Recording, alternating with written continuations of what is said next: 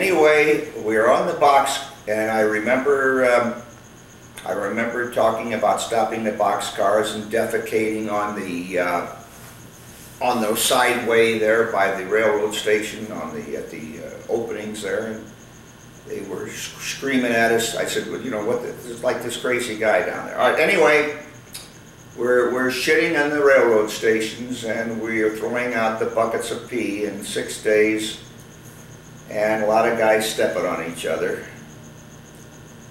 And uh, at any rate, we arrive at Nuremberg uh, about the 5th of February, somewhere in that area, the first week in February, we arrive in Nuremberg. When we arrive in Nuremberg with those layers of Red Cross parcels,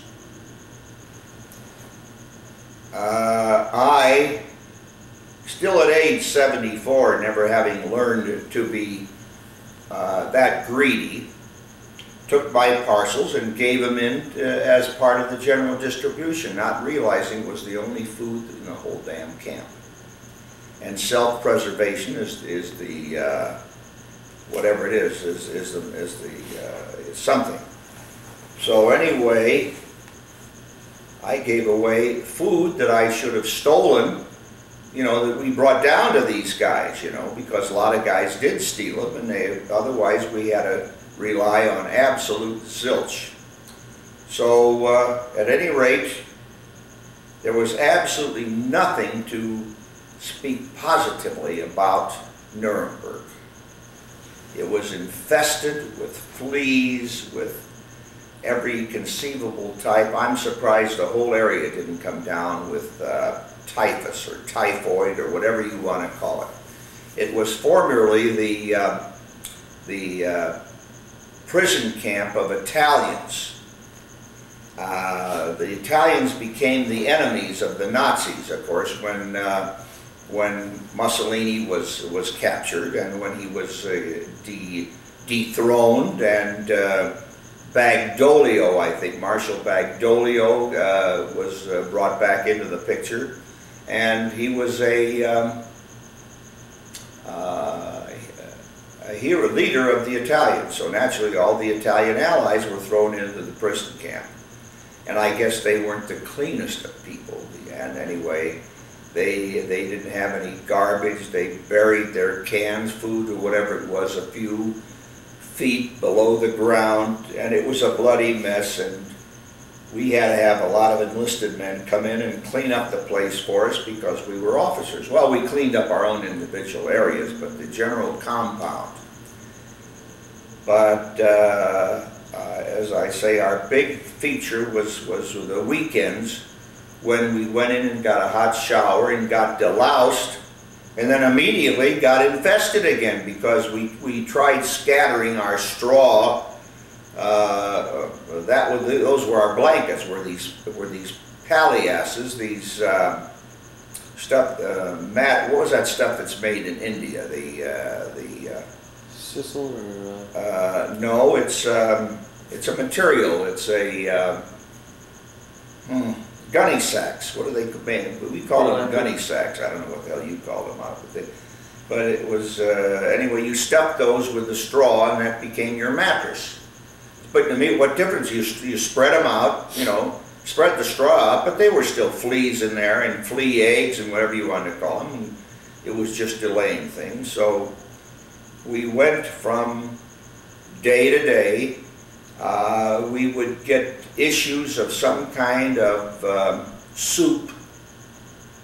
Uh, somehow or other, they scrounged up some Red Cross parcels. Anyway, uh, the Americans, we lived. And uh, we got through February, we got through March, and uh, I met my friend Tom Thomas from Wheaton, Illinois. I met him in there again, the one that was in the west compound. It didn't make any difference now. We were there. It seems that the group, the group that uh, uh, were marched out 10 days earlier from Sagan they eventually got so far and they disintegrated, and part of them were waiting for us to bring some food in at Nuremberg, and the others were already at Moosburg, which was outside of Munich. If you remember, we were in Munich, and uh, uh, your uh, Gene said to me, "You want to go see uh, Stalag?" It was only about ten miles away, and I said, "Absolutely not." It was one of the great memories of my life. So uh, there were not all there. So as I say, there was no such thing as a compound. You you slept where you could, and then you finally organized yourself, and uh, there was some form of organization. And Tom Thomas was in one barracks, I was in another, but there was no different compounds. The English had already been shipped north to the Baltic Sea, so we lost track of them altogether. The, the British, the, the, the one, the, the remnants the remnants, like, like 5,000 remnants of the ones that had been captured and shot in the Great Escape. They were up by the Baltic somewhere, and they, they had their own commanders or whatever. But th- these were the balance of the Americans. And they were still shooting them down. You still get remnants every day of people coming in from, the, from their from their bow, from their sorties that parachuted in. And uh, But you were still. It was. You were still obviously you were still prisoners of war. oh, of course, but And- you know. And uh, how, but how did how did you did you guys feel like that? How was the balance of the war going then? You felt it was Well, just we a matter knew of time, that it was, it was just, look, Patton was on his way. and the fact that uh, the Russians were coming in the other way. The Russians were coming, but we were to the, we were way to the south now. You see, we were shipped south Uh-huh. because Hitler toward Austria. Uh, Hitler still had several uh, uh, aces in the hole. For instance, uh, he had uh, Patton's son-in-law. Uh, Patton married to Patton's daughter, and uh, he was a POW. He was a colonel or something like that, an Air Force type, and he was in our camp. We didn't know who he was or what because uh, they kept these guys. And then there was Churchill's son-in-law. So I was in a camp with the VIPs near Nuremberg, but uh, he was going to grab these guys and take them to his mountain retreat near Salzburg. I think you were aware of it. We didn't go up there. But uh, we were there, and every night we would be subject to a bombardment. Now, uh, we'd be subject to the greatest bombing assault on the city of Nuremberg that anybody could imagine. We were about five or six miles away, and we dug slit trenches. But in the meantime, they had our camp marked out. And every night they would come over, the, this is the Royal Air Force, they would come over and they would mark out the camp with flares. Amazing the way they had that thing marked, uh, you know, uh, blanket, uh, marked out. And then they had anti-aircraft guns either in the camp or nearby the camp. And uh, I got to the point where I wouldn't go out uh, into the slit trenches anymore. I, they certainly didn't come in looking for you. In the, you know, the Germans, they were busy shooting at the, uh, the planes. But uh, what happened is that the shells, the remnants of the aircraft shells, would fall as they would explode. And some of the guys were hurt rather severely with these remnants falling from like five miles or three miles or wherever they were up there. I said, the hell with it. I said, if, if I get hit by a bomb, it ain't gonna, I mean, the slit trenches are near enough, it's not gonna help you any, because these were, these were uh, six-ton bombs. These were 12,000 pounders. Wow. And uh, so as a result, there were, uh, there were no uh, possibility of, of surviving any, any miss anyway. In other words, if they dropped anywhere near our camp, close, uh, we'd be goners. So at least I don't, let me get hit by the big thing, not the little sh- uh, shrapnel, that's it, that shrapnel's what I was thinking of, so. So we, uh, I stayed inside, I was, you know, and uh, if we were eating, I'd finish my meal and maybe somebody else's when they weren't looking. But uh, at any rate, we were at this Moosburg, and it was hell on wheels. And uh, no, this was Nuremberg. We hadn't got to Moot yet. We were at Nuremberg, Nuremberg, uh, and um, while we were inhabiting the uh, inhabitants of that camp outside the town, and between the, the daylights, the Americans used to come over, you know, with real high level bombing, and the RAF at night. 75,000 Germans were killed by the bombing. And it was the most unbelievable sight, the night bombing. The day bombing was nothing. They would just come over and you'd see the smoke and, and then you'd start shaking. But the night, they, they, they dropped Christmas tree flares, would light up, you could read a newspaper, would light up the entire town. And uh, then they would drop the big one. And it would hit. I don't think there was any attempt at guidance or, or anything. They just, as long as you'd had fins on it, so it, I guess to give it some guidance, because we were only five, six miles away. So that part of town that was close to us got a break, I'm sure. But at any rate, that thing hit the ground. And then you would count. Uh, I'm guessing maybe a mile a, a sec, uh, a mile a second, somewhere around there, because you would count one one thousand, one two thousand, one three thousand, one four thousand, one five thousand. And then the whole air, the air would just shake and vibrate and everything else. It was the most horrible feeling in the world. And then what had been there was, was evaporated, just gone completely. And this went on for, for night after night after night. But it didn't end the war. And so finally, uh, they came to us. We're getting lists, uh, these uh, POWs, uh, and of course, this was the Wehrmacht. We were not under the Luftwaffe anymore. We were under the German uh, ground forces, der Wehrmacht.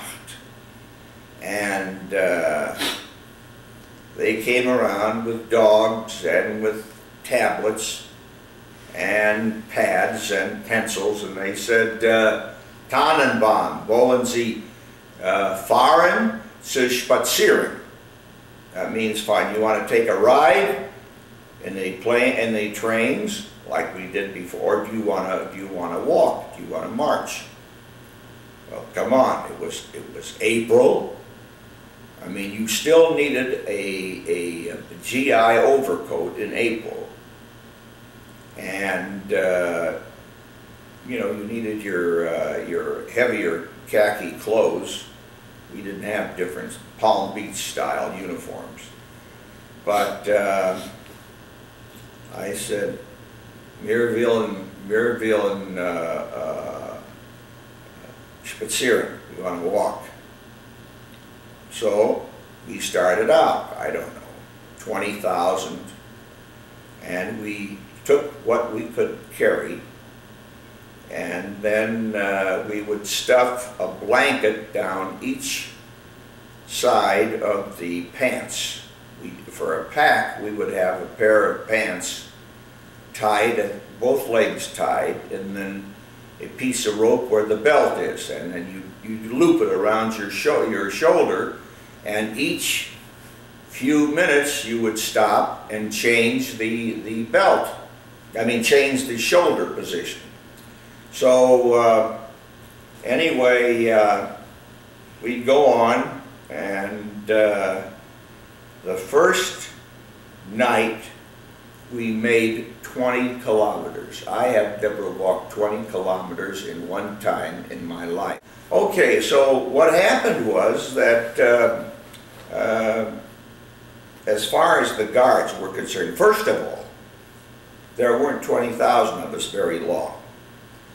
Gradually and gradually, the cripples, like myself, I didn't have chilblains anymore. Thank God the chilblains had healed, or whatever happens to chilblains, or whether scars or calluses. And, uh, but, uh, and of course, I didn't know that I had, uh, that I had uh, uh, problems with my neck uh, vertebrae. So what would, uh, we, we had probably a company of guards for 20,000, maybe two, 300 guards. And then what would happen is, as we kept falling back, uh, less and less guards were, there were about 102 of us were really crippled up pretty good. And we would just keep falling back, and when they called, okay, uh, Spitzier, you know, let's go, uh, we just didn't go. We didn't get up. We waited another half hour or so, and then gradually, gradually, we separated ourselves from the main body. We were no hurry to go anywhere. It was a lovely April uh, countryside in in uh, in Bavaria, the most beautiful part of Germany. The Black Forest, the Schwarzwald. We weren't near there, but uh, at any rate. Uh, what would what would happen would be that uh, that we would uh, we would uh, rest, and then finally, I got up a routine where we would take the uh, we would take one of our guards. we became a small group of 100 120 guys varying, some guys maybe took off, you know, in the countryside, but there was nowhere to go between us and General Patton, who was following us up with the Third Army, was the SS. And we certainly didn't want to get mixed up. One or two guys escaping, boom, boom, you're dead. I mean, they ain't going to mess with you. So, because obviously you committed a civilian crime, because you remember in one of the previous uh, sessions, the Germans told us they couldn't be responsible anymore. And of course, this wasn't even the Air Force, it was the Wehrmacht, and they were a bunch of bastards. So, at any rate, here we go, and we're on the road, and we finally found a little village. And uh, I said to the one of our guards, we had six of our guards, and we carried their rifles for them. First of all, they emptied out the rifles, they emptied out the magazines and put the, put the uh, cartridges in their pockets, that is the Germans. And then they gave us the rifles to carry. They were in their 60s, the old cockers. And uh, so I said to our guard, if, uh, the, uh, uh, the, uh, oh hell, the mayor, the, the, Meister, the whatever it was, the, the head of the city. Uh, I'll think of it tomorrow sometime. So the guy came and he said, and I said, uh, Guten Morgen, Guten Tag, whatever it was. I said, I said, I've been Amerikaner Offizier. I says, uh, Luftwaffe. I said, Schnell das Krieg is fertig. The Krieg's going to be over, the, the war's going to be over pretty soon. I said, Wir haben äh, 100, 120 äh, Sol Amerikaner Soldaten, Luft, Amerikaner Luftwaffe. Uh, I said, Sie geben uns einen Platz zu schlafen. You give us a place to sleep. You, you know, uh, this is high-class Yiddish. It's, it, that's all it is, but it's a form of German.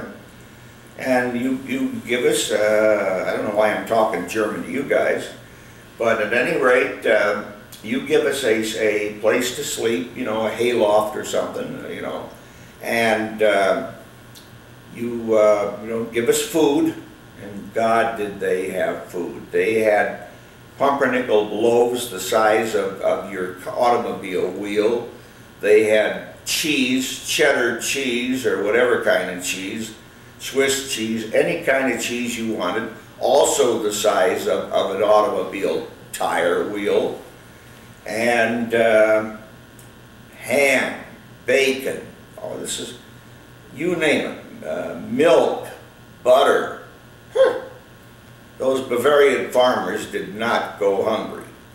So they, and I said, oh, and I said, you give us some paper. And I'll write on the paper that you're great guys, that you've taken care of American personnel, and that you've been kind to us, and I will not only have the government supply you with funds to re, with American money, but I said they will, they will, they will not shoot you, they will not harm you. Oh, yeah, yeah, bring paper, because that's all they knew of these, these, these, these horrible SS coming in and killing people, you know.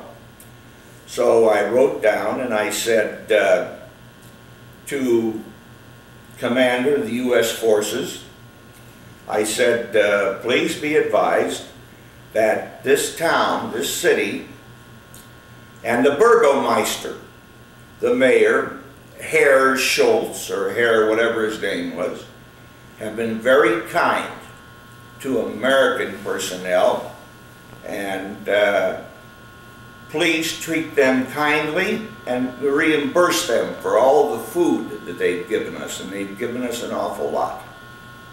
Signed, Harold Tenenbom, First Lieutenant, Air Corps. And we took a liking to this little town. I think it was called Freiburg. And we stayed there for about two weeks. We had no place to go. And as, and as a matter of fact, I was billeted in the home of a widow.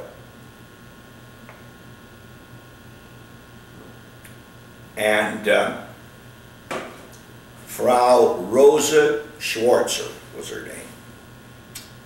Pretty good after all these years.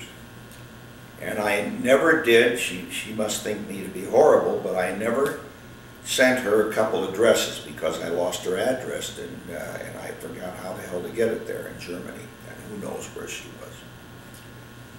But uh, at any rate, she, she, we slept in her barn. There were about uh, 20 of us or something like that. And uh, she said to me, come into the kitchen, I want to talk to you. You know, she offered me the use of one of her bedrooms, but uh, one of the rules uh, was for enemy soldiers not to cohabit with German women. And me being a Jew, that's all I would need, you know. I said, pass.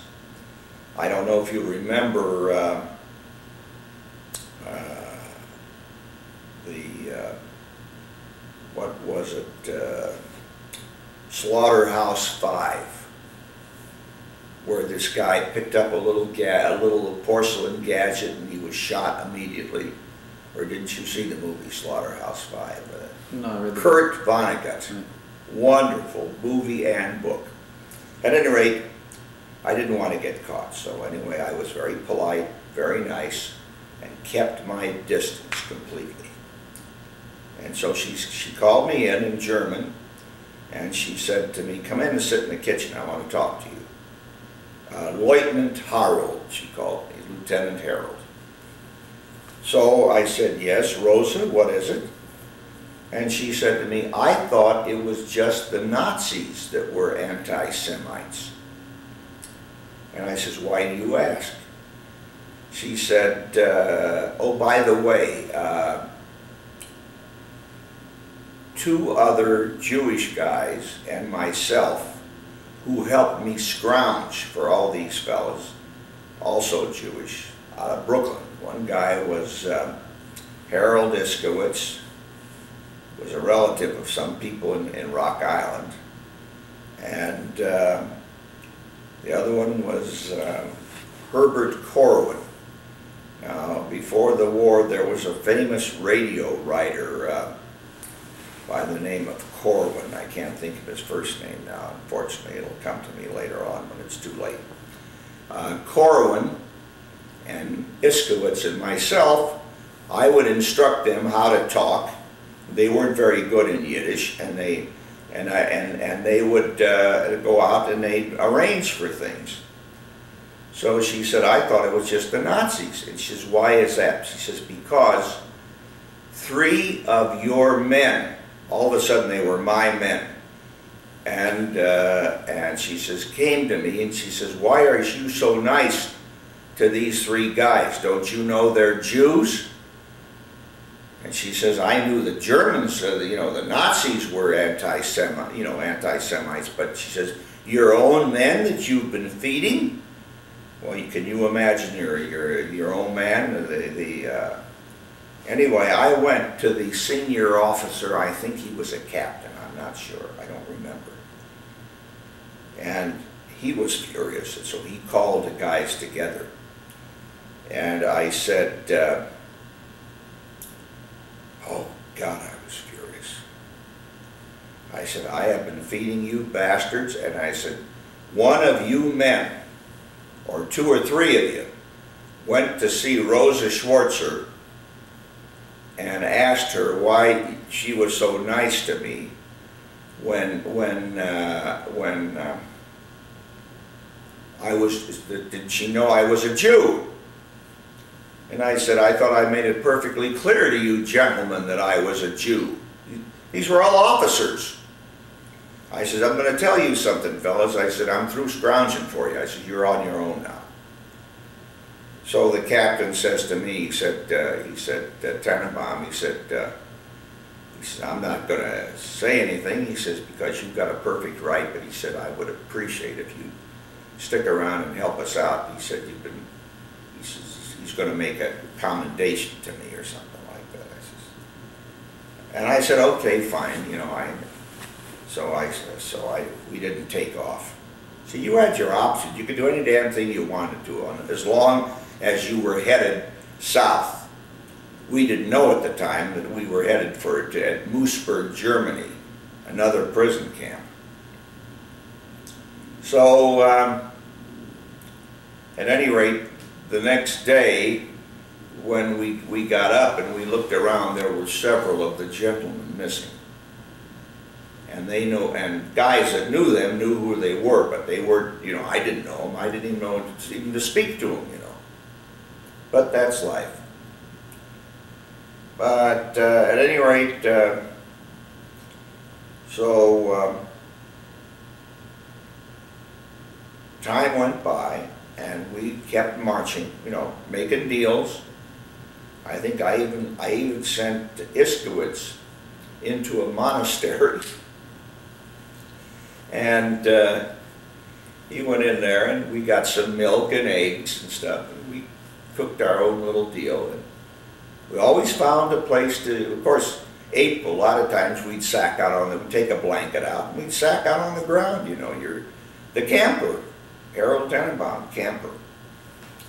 So, um, finally I said, uh, look, I'm tired of walking, and Patton's got to be awfully close. And I said, let's hop the next Red Cross. See, the Red Cross uh, were bringing in parcels from Switzerland. They'd, um, they'd go up as far as they could, you know, to where the, where the SS would stop and they couldn't come any further. And they'd turn around on the same back routes. You see, we were not allowed to use the, you, you've seen the autobahns in Germany.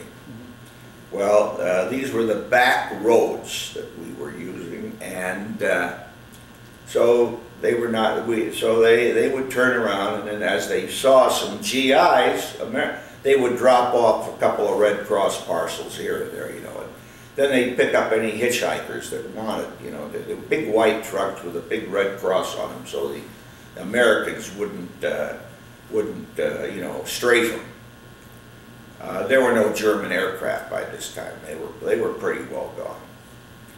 So uh, at any rate, uh, we uh, we hitchhiked. We got on one of those trucks, and they took us into Moosburg, into that prison camp, where it was absolute havoc, and. Uh, we had little cookers that we made out of coffee cans and stuff. You put little scraps and you made your own little blower or something, made little, and that, I don't know, you heated up a can of C rations or whatever it was. And uh, there was no such thing as sanitation. I don't think we were there over three weeks and all of a sudden in he comes. Mr. Blood and Guts himself In where? into our camp. You were in Moosburg. Yep, Did you explain? You just finally. Oh, you said you hitchhiked. into, we hitchhiked and they took us into this Moosburg camp. Uh huh. And uh, it had been some kind of an organized camp, but it just it disintegrated under all the thousands of POWs that had passed through there, or whatever it was. It was very close to one of the extermination camps, that's all I can tell you. But, But before Patton got there, had, had the, the Germans abandoned you? not yet. Time.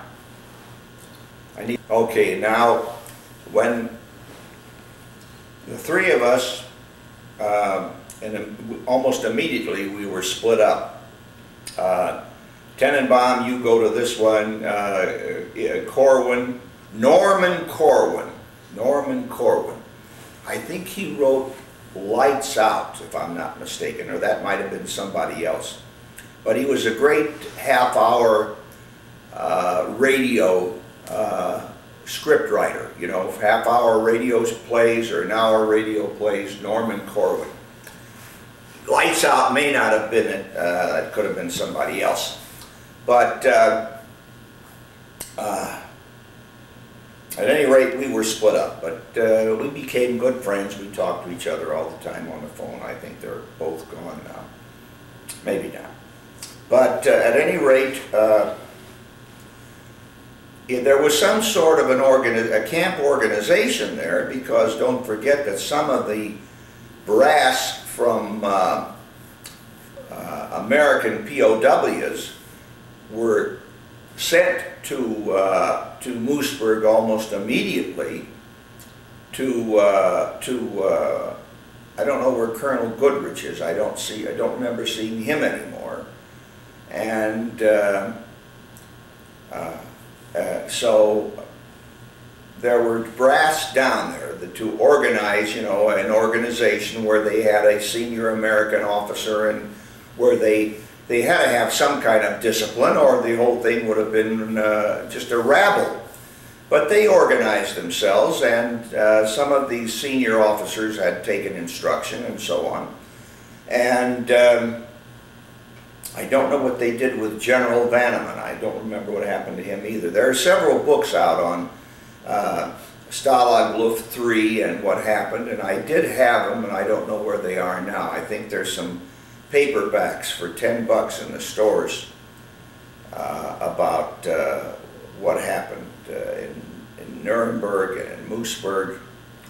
But uh, here we are now, we're in Moosburg, Germany, down toward the Swiss border, near Munich.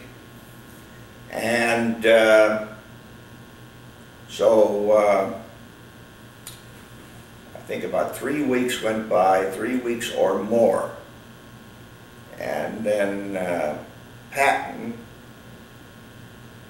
uh, was so close that you, we didn't even bother with the BBC anymore. And uh, so uh, I remember I woke up one morning and I, as usual, I had the GIs. I either had diarrhea or I had uh, uh, uh, plugged up. Uh, Constipated. constipation. It was never a happy meeting with me. And I was stuck in the, uh, in the uh, abort, in the toilet, and we had dozens of, of uh, one-seaters, you know, and old, like, stone houses and stuff like that. And it's lucky they were because I could hear, I could hear gunfire, I could hear bullets peppering the walls, and I'm busy sitting on, what do you call it, uh, trying to do my business. And all of a sudden, it's a great, it's a great uh, silence, absolute silence. And what had happened is that the night before, the uh, main German organization had surrendered the camp at such and such a time the next morning. And they didn't, you know, it could be that they didn't have enough people to organize to tell us all this stuff. But, but there was, the organization was very bad, naturally, and so we didn't know what the hell was going on, the rank and file. And I assure you, we were plenty rank. and uh, so uh, we, as I say, we were going about our business, but several hardcore SS guys got a hold of a couple of submachine guns, uh, these, these pistols, you know. And so they tried, they put up a last minute fight, so I guess they had to kill them. I don't know what happened to them. But anyway, that, that was all the noise that was going on. And then the uh, personnel were outside with tanks. And so uh, I don't even remember a big tank gun going off. I guess they were afraid to hurt some of the uh, POWs inside. But all of a sudden, uh, we were, uh, people went by and say, everyone back to your quarters, stay in your quarters. And uh, do not leave your quarters. There was a big noise going on. And, and uh, all of a sudden, that uh, I, we were in tents, and the tent doors would would, would fold open, you know, and here comes this huge red-faced guy. I guess he was about 6'2", and very high-pitched voice, very high-pitched voice. Sounded nothing like George Scott. Uh, well, I well I see. I don't want to make a you know I don't want to uh, create uh, make fun of the man because he was a fantastic general, uh, especially as long as it was your blood. And uh, he said it was the finest group of men he'd ever met in his life. And you should have seen, uh, I had my pants tucked in my socks. And I, I think I was still wearing my GI shoes that I had been issued on the island of Vis seemed like a hundred years ago. Actually, it was, it was less than a year. And uh, here he is, General Patton. And uh, he said to us, he said, well, he says, it's going to take us a while to get things straightened out. In the meantime, we'll get some food in here, and Red Cross girls. And uh, so now he says you, you're permitted to, uh, you're permitted the use of the area. In other words, you could wander around the, the grounds. And uh, so uh, everybody, of course, was delirious. I don't know if anybody had any liquor, but if they did, it was gone pretty fast. And all of a sudden, a guy gets up on a tank. Oh, the tanks are in the yard now, by the way. The tanks are in the yard and uh, nobody for them to shoot at, so they got rid of them. But before they did, a guy jumps on top of the tank and he says, I'm a reporter for the Chicago Tribune.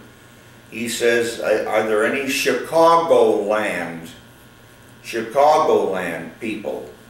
I said, uh, how about Rock Island, Illinois? Would you consider that? He said, oh yes. So I said, well, what about Davenport? So he said, oh, yes. So I gave him my name. So about two days after the Stalag camp fell, uh, my parents knew that I was uh, that I was uh, a freed POW. Freed POW. So my mother writes a letter to Congressman Martin of, uh, you know, of our district. And uh, she'd have, as you know, my mother was a great letter writer. And so when I got back to Davenport uh, a few months later, I find this letter waiting in a box of souvenirs for me that she kept. And uh, the letter said, Dear Mrs. Tenenbom, I am so happy that you just found out that your son Harold has been liberated as a POW. However, he says, I'm very sorry that we can't do anything about your cigarette allowance. The ration. Yeah, with your cigarettes, she was, she wanted to know, if now that Harold was free, could I get some more cigarettes to sell in the store? Oh. Oh, no, she didn't want them, she, she, to sell in the store. Cut. All right, uh, something that just occurs to me is that, is that, uh, when Bill Pearlstein, I thought I had discussed this, maybe not. Uh, Bill Pearlstein used to take me to dinner all the time because I could, he, he could get me into the places where they had decent food. That you'd started that story yesterday. And, but did, I guess I must have, uh, you know, uh, digressed. But what happened is that I evidently must have had a date with him that night to eat dinner uh, in Foggia at one of the main officers' clubs, and I didn't show up. So he goes to the telephone to call my squadron. You know, this is Captain or Major Bill Pearlstein. And uh, where's Harold, Ten- where's uh, Lieutenant Tenenbom? Well, sir, he, his plane was shot down and there in, in flames, and there were no parachutes observed coming out of the, uh, coming out of the, of the, of the ship. So it must be so, assumed that all people on board were uh, KIA, killed in action. And that's how it's being reported to the, um, to the, uh, uh, to the Air Force, you know, to the um, Secretary of, uh, uh, Secretary of War. And uh, so Irv Perlstein, somehow or other, he gets this information to Rock Island, to his folks, Bill Perlstein. Irv has just come back from his training in New York, Long Island. He was at uh, Camp Totten, Fort Totten, New York, New, on, on Long Island. And uh, he was being sent to Japan. Or no, he was being sent to the Philippines, that's right. The Philippines had been captured already. This was in 45. This was in 45. Or was it? No, no, no, no, it was not in 45. It was in 44 because I was shot down in July 26 of 44. So this happened, he came over to see my folks shortly after the Pearlstein family got the message. So getting back to the, uh, to the war, we uh, were back there and Patton naturally took all the German guards off the barbed wire and put on GIs. Well, we knew damn well that we weren't going to get shot at by GIs for, you know, for anybody that wanted to go AWOL, take off, you know.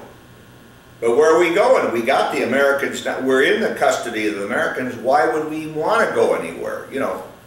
Looking for trouble, We haven't got any money. So what, we found each other again, the, the three Jewish musketeers, Corwin, Iskowitz, and Tenenbom, we found each other again.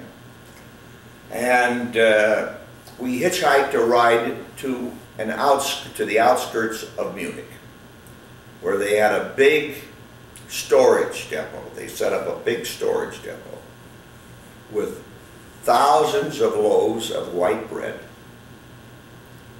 And uh, you never tasted anything, angel food cake, anything tasted that good, the white bread. And cookies. And uh, everything you could possibly think of, canned food of all kinds, you know.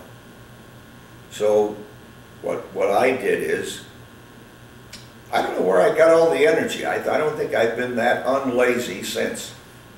And uh, I went to the uh, commander of the, uh, of the, of the uh, storage depot and I introduced myself to him, you know, we, we were still in rags, you know, we had our, we had our POW clothes on, you know.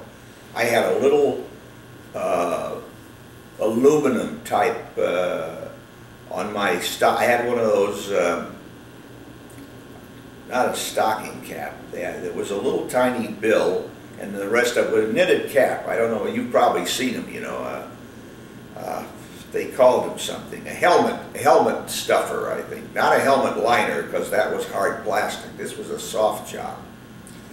And, uh, at any rate, I said to him, I says, can we, I said, we're down at the prison camp, and I said, we haven't had food like this for a while. I says, can we borrow a uh, four by four, or what, what the hell, whatever else it was? And I said, uh, can we bring this stuff back with us? Absolutely, Lieutenant, go ahead. This guy probably was a uh, captain, I don't remember what his rank was, but anyway, uh, I really had a ball. And we came back through the front gate this time. We didn't have to sneak over the barbed wire. We came back through the front gate and we stopped inside the front gate and we started passing out this stuff. Well, we could, if we'd, if that constituted the, the uh, voting uh, assembly of the United States, the three of us could have been president, vice president, and secretary of state. Boy, were we something.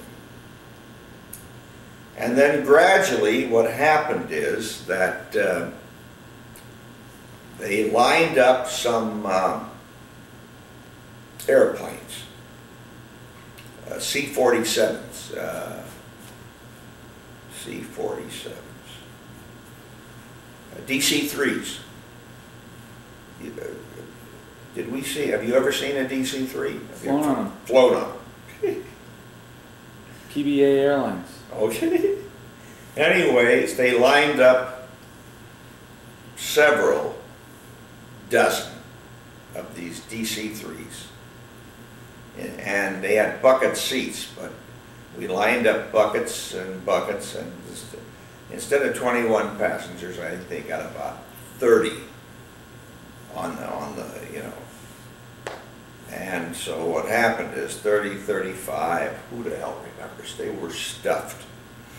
And of course, they contained, they contained no gas to speak of. It was just a short jaunt from where we were over to um, Reims. Yeah, Reims, France, that's where we were, Reims, France. Was it Europe, a couple hundred miles, you know? So uh, they took us over there and then they lined us up in formation, ha ha. And uh, we were to go into the shower stalls. This was the racetrack at the Reims, at Reims, France. And I wonder if you know what province, what section of France Reims is in. What kind of earth they have, and what kind of product they grow. Champagne. Well, here is this What, am I right? Absolutely. And we, here we are in the jockey club, the jockey d- division of the, of the, um, of, of the- of the racetrack, uh, uh, the uh, uh, the, the stands, uh, the, the, the- where you watch the races run. uh, the- Grandstand, yeah. Huh? The grandstand. grandstands. And you're down in the basement because of the, uh, that's where the jockeys evidently, when they got through racing the horses, they went and got weighed in or whatever it is, and then they went and took their showers. So there, what were, the- uh, how many, how many jockeys? Twelve jockeys. Maybe there were, sometimes with a steeplechase, you got twenty horses. All right, so they had 20, 25 shower heads. So they made maybe three, four guys go in together. They, weren't worried about morals at this particular time. So in the meantime, some guy comes out with a grin on his face And here are a bunch of jerks. You know, we don't know what the hell we got. And he brings out, like this, he brings out a bottle like that of, of champagne, and it's got a shield on. And God knows what date that champagne was. And here are these crazy guys down there waiting to take their showers. And though they took all our clothes away from us. We were as we were as naked as jaybirds. They took all our clothes, had a big bonfire on the outskirts. And as you went by, you throw every item you owned on on the uh, outskirts. Then you went and got yourself a haircut. And, uh, and I'm talking about all over your body. You've got a very, very close crew cut. And uh, took all your hair off. Then, after you took your shower, they inundated you with DDT. Absolutely inundated. And you were just standing there. Your hair was covered, your face, your body, underneath your arms, just loaded with DDT. And, and we were absolutely, we didn't know whether we were coming or going because in between the fizz fights and just gobbling down that warm champagne, we ruined the complete uh, wine cellar of, of the of the racetrack. I don't think they ever got over it. And because some of those bottles were pretty uh, were pretty uh, uh, dirty and had uh, stuff on them.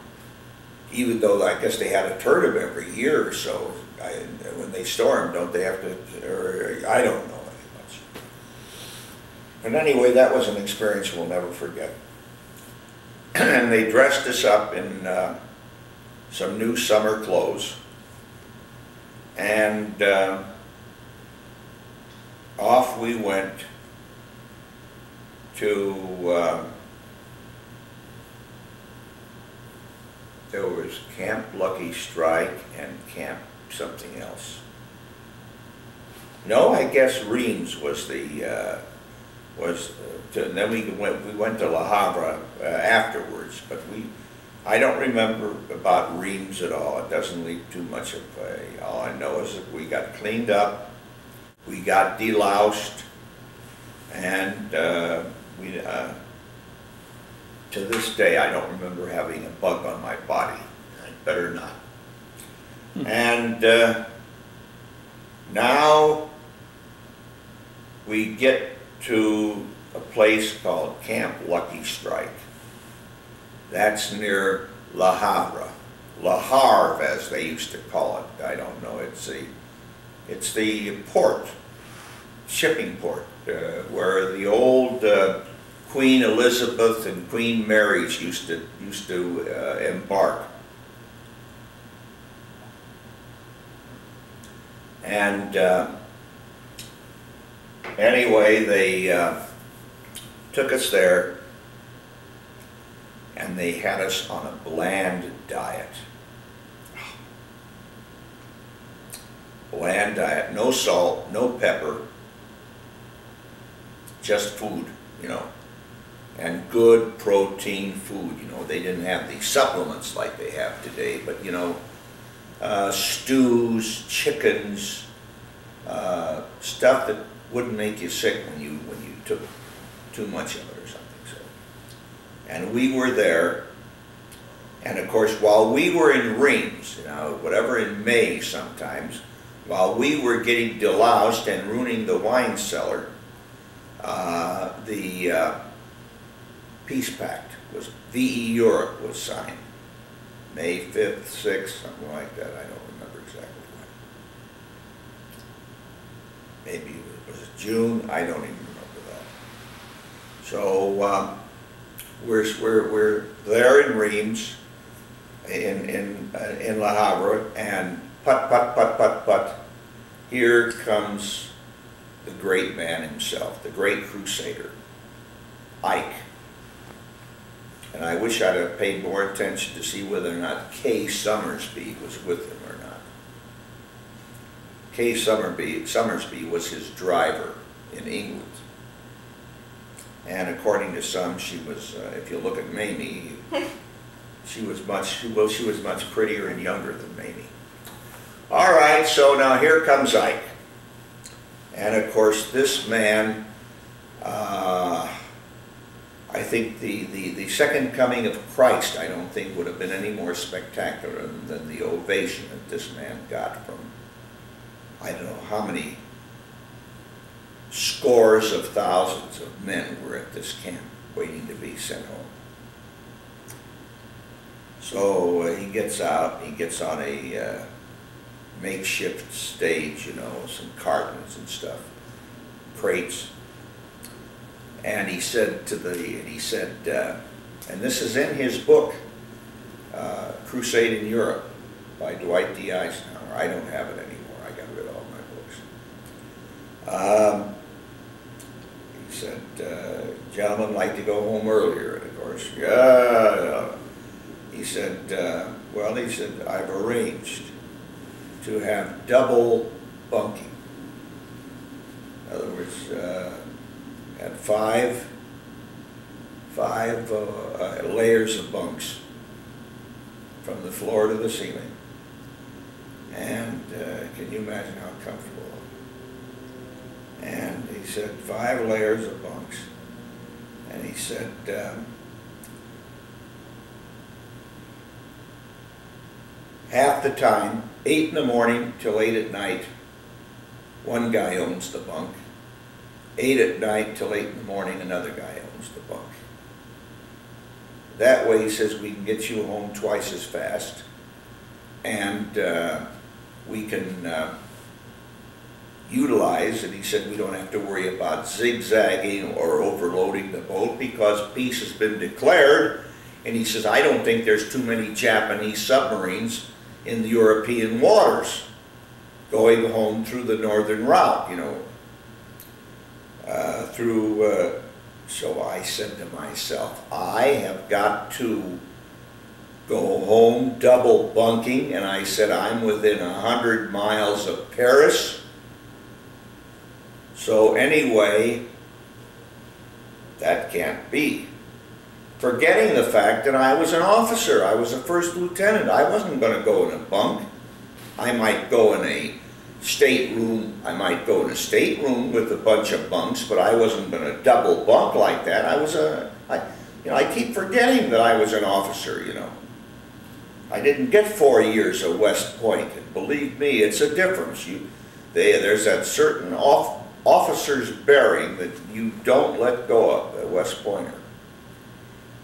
And I think Virginia military, VMI, I think that's the same thing applies anyway. So, uh,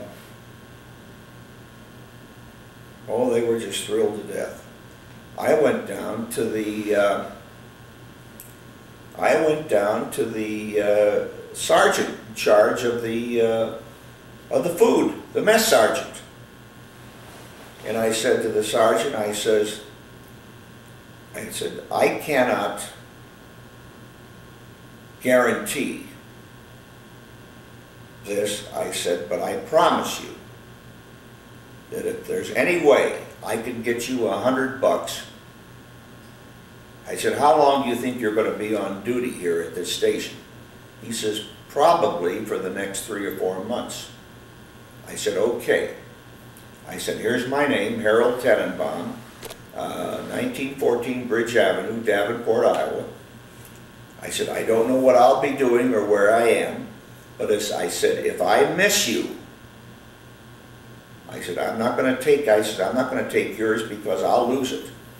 But I said, you write this down, you're organized, you're, a- you're a mess sergeant. I said, I'm only a first lieutenant. I had gotten promoted, I already mentioned that. I says, but take my name and address down. And I said, if you're not here when I come back, I said, I owe you a hundred bucks.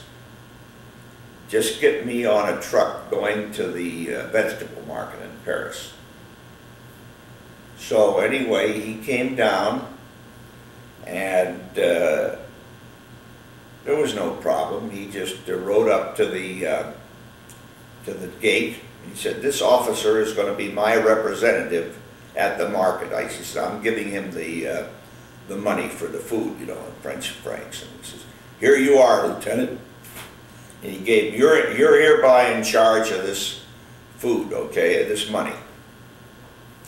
So he gets out of the truck and sergeant says, okay, pass on, you know, because I didn't have a pass.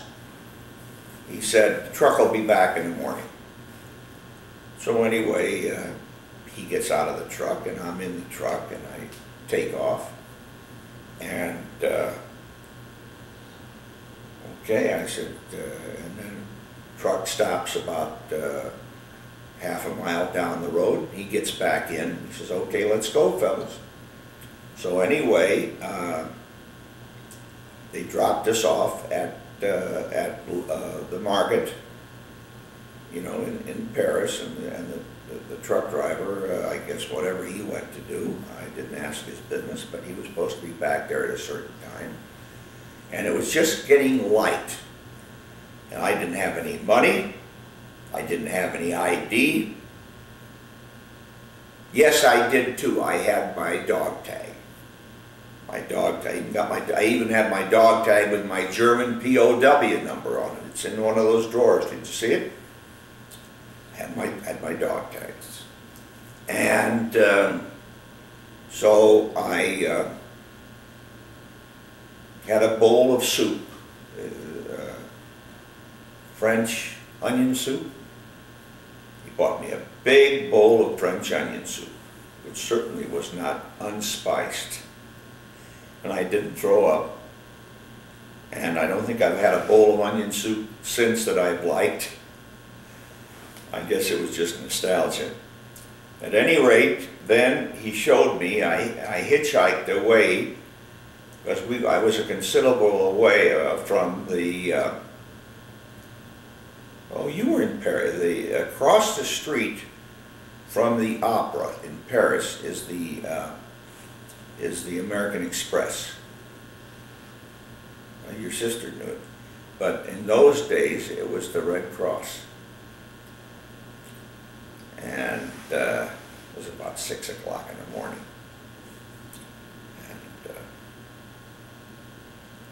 uh, I sat down, you know, I found myself a newspaper or something, and I sat down in front of the front door of, of the Express and fell asleep.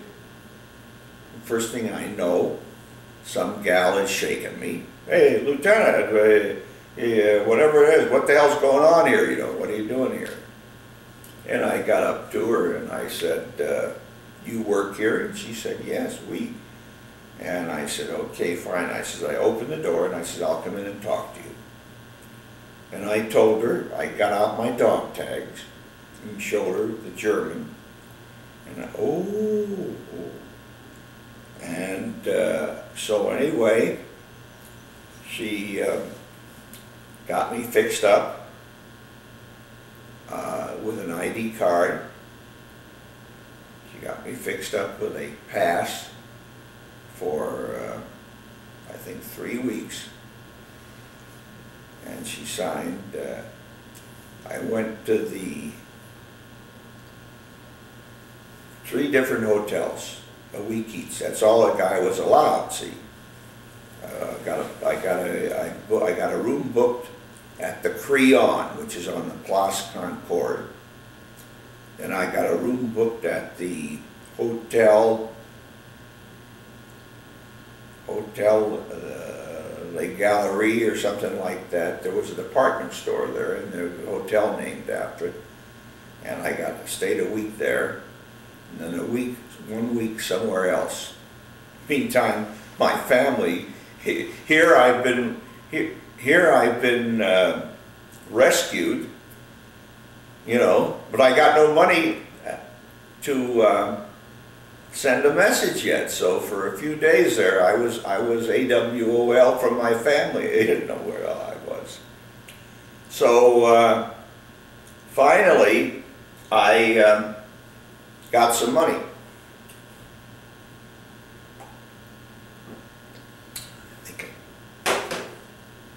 some money. But I, I think I got a thousand dollars American in French francs. Yeah. How'd you do that? Went to, went to the finance department. I had my ID now. I had a year's,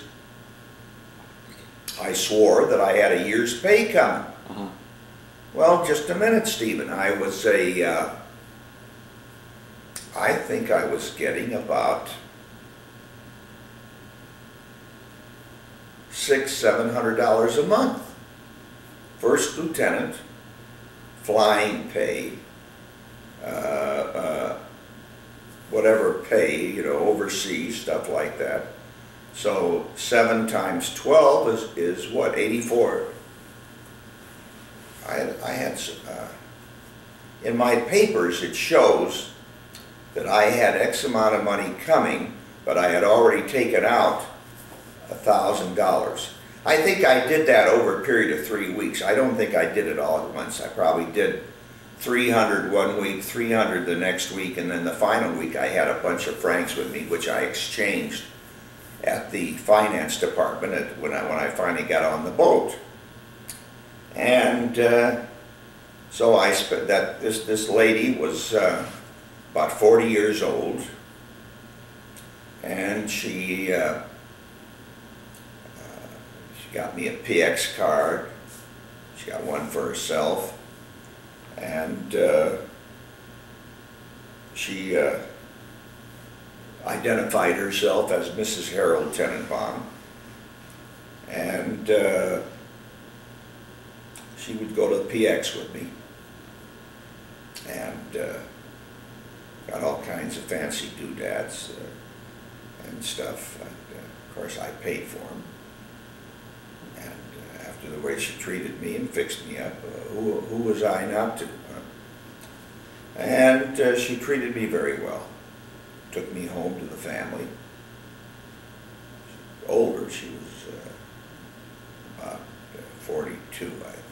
I was just 29. And that's about it. So I finally got on a uh, boat,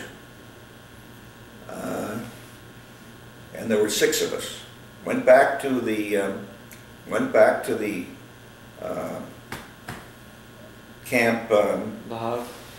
Lucky, Camp Lucky Strike in La and there was the sergeant, was still there organizing the, the mess hall.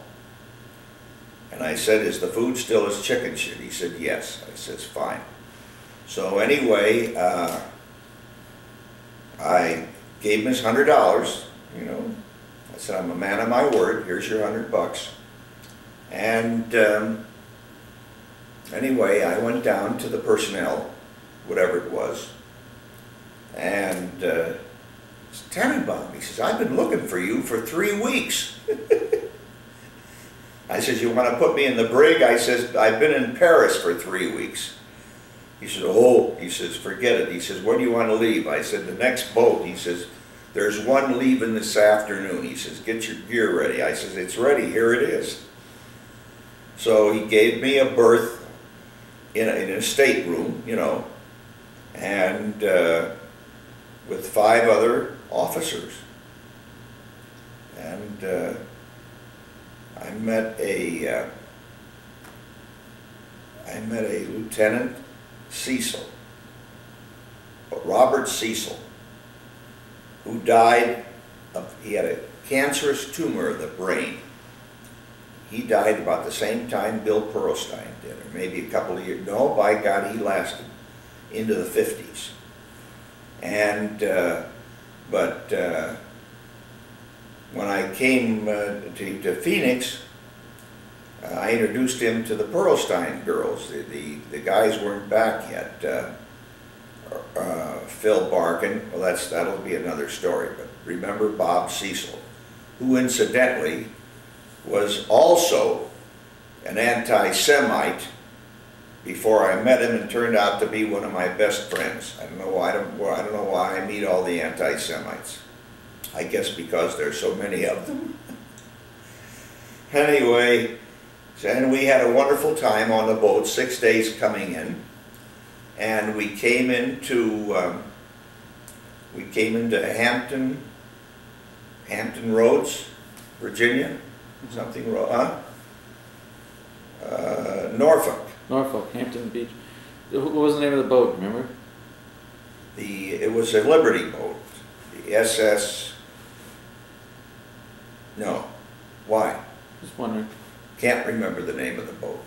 It would be, if, if my, if I'm lucky, my papers might show it, I doubt it though. It's a, uh, was this passenger ship, the tr- transport? It was a converted uh, Liberty craft. What's a Liberty craft? That was one of Henry Kaiser's boats, or real cheap put together. I think they put them, they made, they build them in two and, and weld them together or something. Uh-huh. And, uh, real cheap ship. They put, they, they, uh, broke them up for scrap after the war. Built them for the war? for Built for the war, yeah. Transport? Yeah, SS, I don't know. And uh, so we had six days on the Atlantic in, this was June of 1945. And for six days, we didn't see a wave. Like mirror for six days, the ocean. Most unbelievable trip I've ever had in my life. And uh, so we get into Hampton Roads, and uh, anyway, Hampton Beach, Norfolk, and by this time the bands are playing a little weekly. W E A K L Y, weekly. They're getting tired of these guys coming home already, so. And they put us on a, on a troop train. And, uh, by God, I was on the troop train with Bob Cecil. And it was easier for me to get off. I think the way it worked out, I could get off in Chicago, Illinois, check in to um, Great Lakes Training Station, but it wasn't Great Lakes. There was a Fort Sheridan, Fort Sheridan near Chicago. Check into Fort Sheridan, and then uh, and then get my. Uh, I automatically got 90 days leave, POW leave. Checked into Fort Sheridan, and. Uh, then I gave them all the information, and they were they were to mail my return to active duty to 194 no 331 18th Avenue, Rock Island, Illinois. If I'd have put down, you was on some of my military papers, you will see Rock Island, Illinois. That was the Tenenbom Market, 331 18th Avenue, because Fourth Ave, no, 18th Street. Third Ave, Fourth Avenue and 18th Street. Uh, the reason for that is that I think I'd have had it gone to Omaha or, or somewhere pretty far, farther away than, than Chicago, and that way, why, it'd take me longer to get home. This way, big deal. I reported back to, to Fort Sheridan, and wherever, and then went on my way. So, uh, I got home, must have been, there were more people in, in Davenport train station.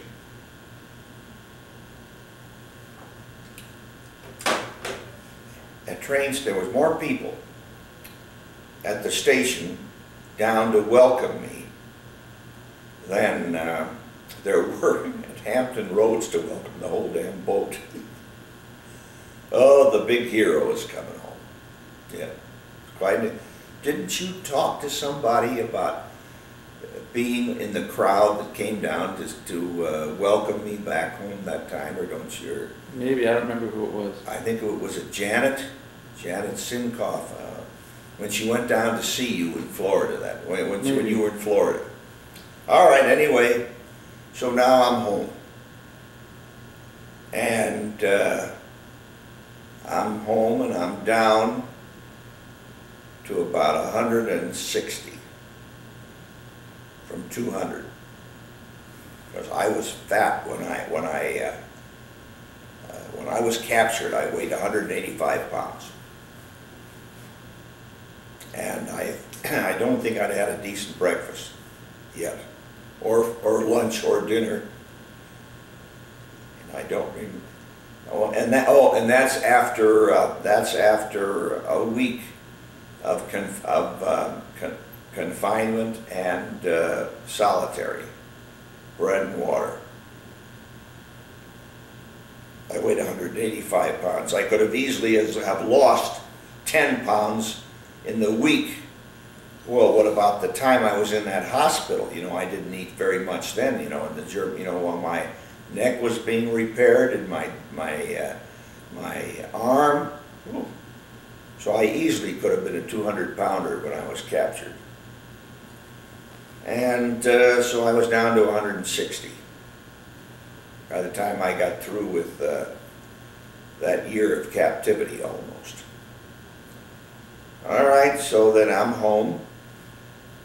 And what do you do? I can't, I, civilian clothes were unbelievable. I mean, you could, uh, I had, went down, got a couple of pairs of cheap slacks, because I knew I'd put on weight again. And uh, so therefore, I had to keep, I had to wear my uniform most of the time. Matter of fact, I was supposed to anyway.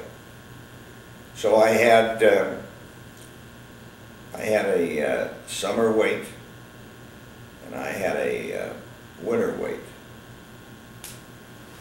which were almost uh, close to, and that's the way I, uh, I dressed for the next, uh, for the next three months. So I went to Dubuque, I went to Dubuque and, uh, see my cousin Dick. And I went to Minneapolis to see uh, my uncle and aunt, you know, you met some of them, the Uncle Mike, you know, Uncle Sam, and uh, you didn't meet, the, the guy that Uncle Mike I met. Huh? Mike I met. Mike you met, but Sam, you've seen pictures of, the two of us look very much alike. And, uh, just spent three months cocking around, ninety days leave, and, uh, so this was June, July, and August. Did I get, no, I got ninety days, I'm pretty sure. And was, was faded, F-E-T-E-D, you know, big hero, you know. Trying to stay away from, uh, the supermarkets as long as I could. I think I went over there once or twice. That's about all. Didn't show them too much courtesy.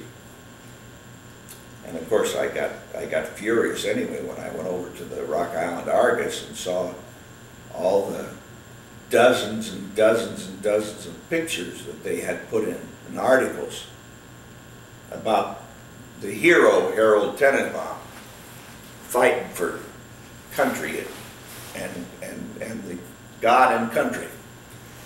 And uh, then it came time to report to Miami Beach for reassignment. So uh, I get on the train and go to Chicago, and uh,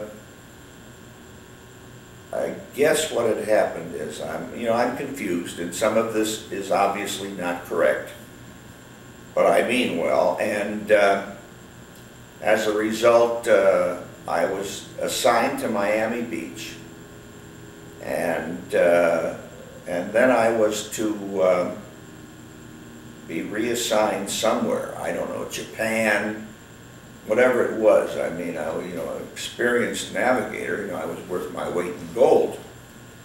And the B twenty nine, we were starting. Let's see, we we hadn't uh, used the A bomb yet. We hadn't even. Uh, this was June, July, August. I don't know when the. Uh, It was like August eleventh or something. was that a day bomb? All right, time.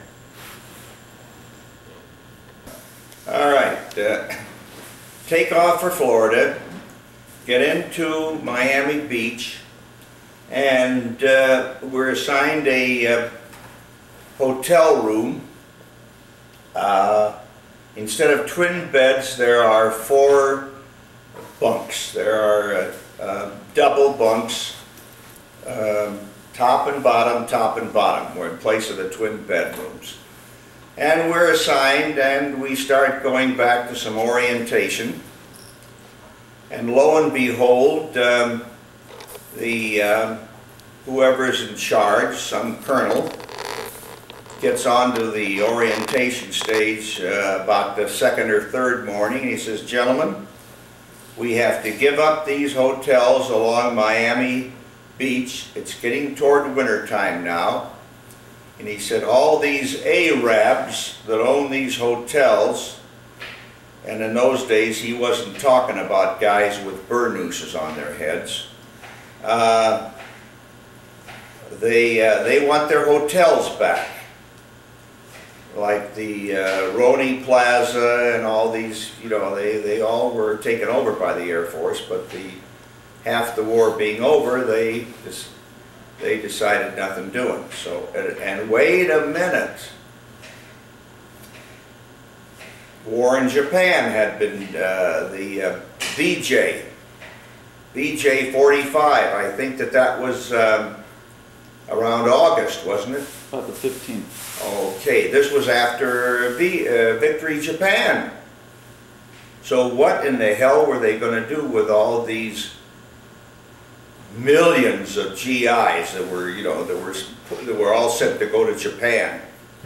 And so as a result, they said, we are gonna have to take you all back to San Antonio. And would, would you believe that got to San Antonio and I ended up in the same barracks that I, that I was assigned when I was a civilian and came in and changed from civilian to, uh, to a, um, cadet. And this was, uh, 1943, this was 1945. My God. Was, is it possible that only in two, less than two? All right, it's not important, yes, it was 43 to 40, oh, about three years. Same barracks. And um, so I just went around accumulating points. Uh, The the more points you accumulated, the quicker you got out of the, of the Air Corps. And uh, so I had gotten a preliminary physical examination. Uh, Evidently, I was okay, had a little flat feet and had uh, some sinus trouble or uh, allergies, ha-ha, as we all know.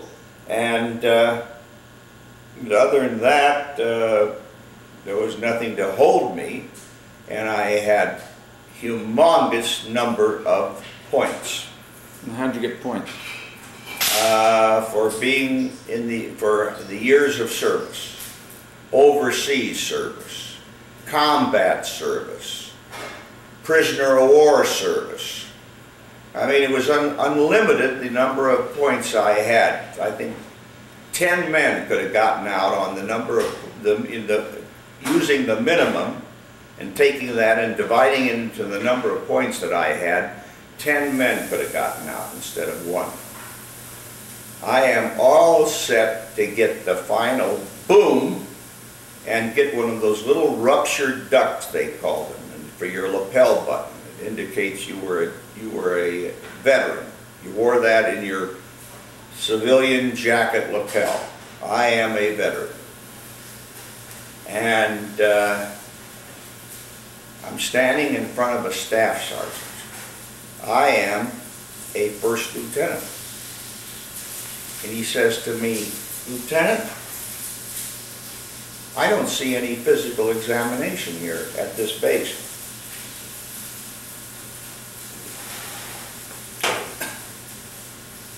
I said, I didn't see the need for any. And neither did any of the people I talked to. I said, let me tell you something, Lieutenant.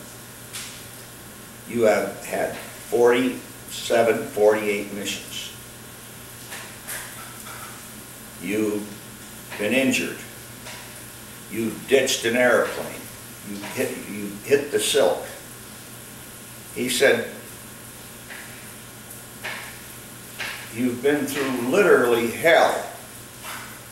And And he says, let me warn you, you get out of here and get your civilian discharge, and you go into the Veterans Administration, and you try to get any benefits out of that VA, forget it, he said. You, he said, I, he said, I want you to go in to the hospital. I said, fine, I'm not in a hurry to get back to Galesburg, Illinois. And uh, that was where I was going to open a supermarket. And he said, uh, I want you to go over with a fine tooth nail, be gone over. And uh, fine tooth nail, fine tooth comb, I don't remember what the hell the expression is. And he said, I want you to get absolutely checked out. He said, uh, was there anything bothering you in prison camp? I says, well, I had several colds. Uh, I said, uh, how, uh, I said, how, and I said, I did, my neck hurt quite a bit while I was in prison camp, and the doctor over there said it was just a, uh, he said, a Nazi doctor? I said, no, a, a, a, a POW doctor, but he was a South African. He says, well, I don't know about South Africa and their medical standards. He says, but I'm going to tell you something. I want you to go over your neck and back area with a fine tooth comb. That's it, a fine tooth comb. And he said, uh, I want everything to be checked over perfectly because once you're out, you ain't getting back in. Well, that man, whoever he is, and I don't know whether he's still living today, and I doubt it because he was an older man, he said, uh, he said, uh, uh, I want you to go back in there, get it all checked out, and then if you're satisfied, you can get your ruptured duck. But he says, not until. So he said to me, uh, so I went back into the hospital. And the same guy that took care of me when I had pneumonitis as a cadet, and I was locked in there for some for some time, as we had a uh, when we had a uh, that we were uh, quarantined, the whole hospital for somebody had measles somewhere. At any rate, uh, the same doctor, the same ward. He says, "My God, where did you come from?" And I said, "Out of the bowels of hell." And I told him my story. He says, well, we're certainly going to get busy on you, Tenenbom, because that's ridiculous. He says, you're that staff sergeant was absolutely right. And I said, have you been here this entire time? He says, yes, yes. Didn't leave the ward. Two men, two men, they meet in this ward in 1943. Uh, then they meet again in 1945.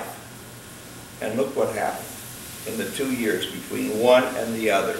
One led a little common life, taking care of guys coming into the ward for some reason or other. And here is the guy that's been in missions, been in prison camp, parish, you name it. He says, what a life you've led. So I went to the x-ray, got a million x-rays, and this is the weekend before Yom Kippur. And so in the meantime, I went, uh, after this was all done, I got a Yom Kippur leave and went to Houston, of all places, for a uh, Yom Kippur with the Weingartens. At that time, 50 some odd years ago, whatever it was, they had a chain of supermarkets, Weingarten. And of course, they're gone and their son has whatever sold out. I did, there's no Weingartens left in Houston. And uh, so anyway, I went down there and I came back and the guy's looking at me and he says, you come on into my office. I went into his office he says, you have got one rough situation here. You are going to have to have surgery.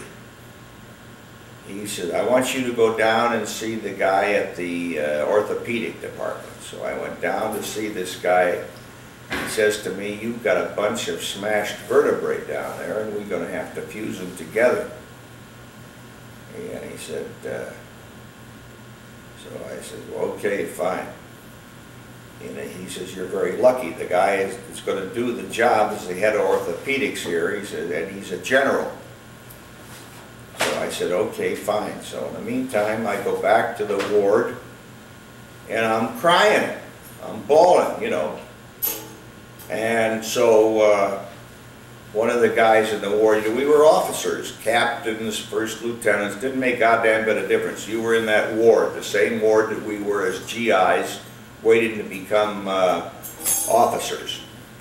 So, uh, what happened is that, uh, what are you crying for? And the guy says to me, I said, because I said, I'm gonna have to have surgery, my neck's gonna be fused.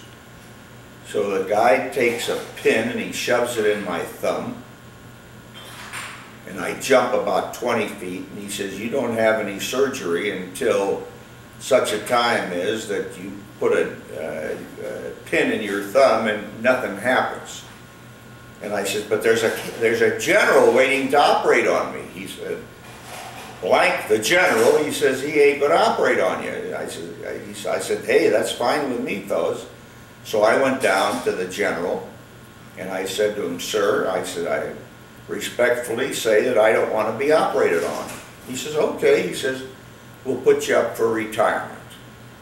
And I look at him like he's crazy. And I says, but I've only been in around four years. He says, it don't make any difference. He says, you're, re- you're you're gonna be retired. He says, we can't, we can't just throw you out. And you're not a GI, so we can't throw you out for, with a few dollars disability. He says, you're, you're a- an officer. And he says, under the terms of the, of the, uh, uh, military code, you you must be, you must be retired for disability. If you're eligible. So, Sure enough, went down, signed up for a reading. You want an attorney? No, I don't want an attorney. And, uh, well, he said, uh, fine, he says, we'll schedule you for a retirement hearing. So in the meantime, I read in the Stars and Stripes, which was the mag, which was the newspaper of the Air Force, of the uh, Armed Forces, that if you were eligible for uh, promotion before you were shot down as a POW, you were eligible to be promoted. So I went and got the forms for uh, promotion as a, as a uh, POW and filled it all out and sent it in and then applied for 30 days leave because I didn't want to get caught on a, where my promotion would come through after the, uh, uh, retirement proceedings. Obviously, you get more money as a retired captain than you do as a retired first lieutenant. And uh, so anyway, the, uh, Incidentally, this is not all of your father's doing. This is your father, there are latrine lawyers in every group of people in the world, you know. There's, there's another name for them, but I, uh, all right, let's call it shithouse lawyer.